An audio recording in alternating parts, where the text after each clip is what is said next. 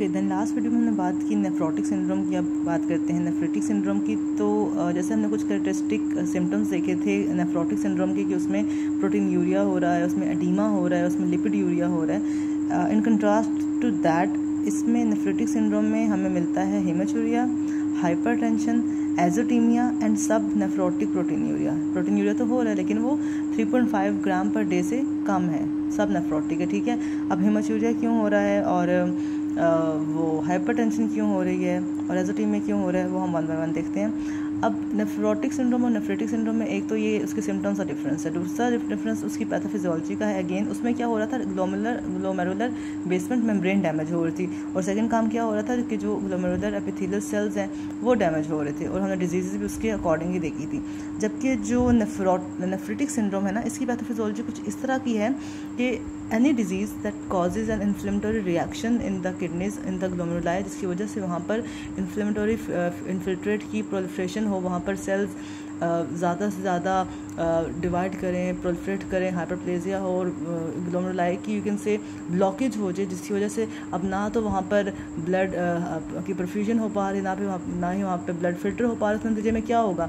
जब परफ्यूजन ही नहीं होगी तो फिल्ट्रेशन भी नहीं होगी और एजोटीमिया डिवेलप होगा राइट रीनल रिटेंशन होगा फ्लूड का और एजोटीमिया होगा।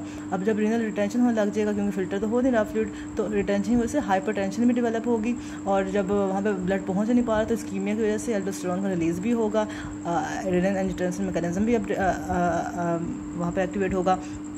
तो हम इसमें यही बोलते हैं कि it is cause by inflammatory lesion of the glomeruli अब वो लीजन मोस्टली हम ये देखते हैं कि कुछ ऑटो इम्यून डिज़ीज़ में होती है, कुछ इन्फेक्शस डिज़ीज़ में होती है कि डिज़ीज़ हुई ग्लोमेरुलाई की वहाँ पर ल्यूकोसाइड की इन्फिल्ट्रेशन हुई, वो सेल्स वहाँ पर ग्रो किए प्रोलिफ्रेट किए, वहाँ पर उन्होंने एक तरह से ग्लोमेरुलाई को ब्लॉक कर दिया, वहाँ पर फिर परफ्यूजन प्रॉपर नहीं हुई और oliguria renal retention of fluid hypertension ये सिम्टम आ गए और फिल्ट्रेशन ना होने से एजोटीमिया के सिम्टम आ गए और यही जो इन्फिल्ट्रेट है यही जो प्रोलिफ्रेशन है सेल्स की, ये फिर डैमेज भी करती है ग्लोमरुलर वॉल को, वहाँ के सेल्स को तो हमें सब नेफ्रोटिक प्रोटीन यूरिया भी मिलते हैं साथ में हमें आर भी मिलते हैं हेमाचूरिया भी मिलते हैं। अब R B Cs itself like microscopically भी हो सकते हैं और हमें ना एक यूरिन एग्जामिनेशन पर माइक्रोस्कोपिक एग्जामिनेशन पर ना आर बी सी कास्ट मिलती है। अब आर बी सी कास्ट क्या होती है इंपॉर्टेंट है, पूछा भी जा सकता है।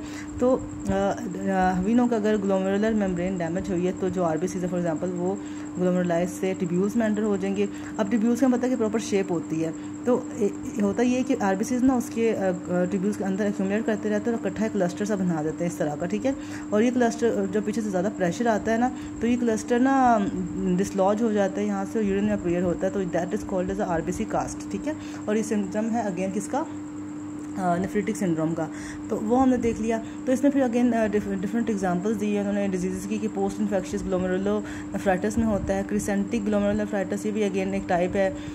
अच्छा एक अच्छा वहाँ पे ना हमने देखा था F S G S focal segmental glomerulosclerosis ठीक है, याद है? यहाँ पे हम जो डिज़ीज़ अच्छा एक और चीज़।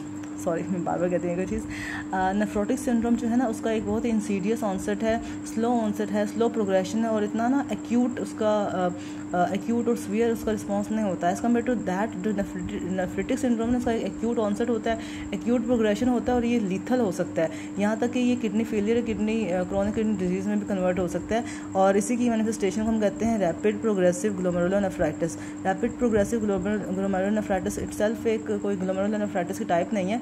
ये एक वीकन से सिक्वेले है, किसका? नेफ्रेटिक सिंड्रोम का और और भी डिफरेंट रीनल डिज़ीज़ का, ठीक है? और जब ये हो जाए ना तो इसके इसके बाद बहुत जल्द रीनल फ़ंक्शन बिल्कुल लॉस होने लग जाता है और दैट इज़ वेरी डेंजरस तो जो एग्ज़ाम्पल ऑफ़ डिज़ीज़ है, जो कि ये कॉज करती है, इसमें डेफिनेटली मैंने बताया कि ऑटो इम्यून डिज़ीज़ होंगी तो आई जी ए नेफ्रोपैथी है एक तो।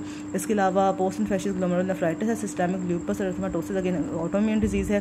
क्रिसेंटिक ग्लोमेरुलर नेफ्राइटिस है, फिर कुछ और एल्पोर्ट सिंड्रोम है, जो बच्चों में होता है। आई जी ए नेफ्रोपैथी जो एडल्ट में होती है और मिनिमल चेंज डिज़ीज़ खराब उसमें देखी थी नेफ्रोटिक सिंड्रोम में। तो all these are the explanation of nephrotic syndrome I hope कि ये हेल्पफुल होगा आई होप कि वो आपको उसके जो डिफरेंट सिम्टम्स हैं, उसकी रीज़न भी समझ आ गई है।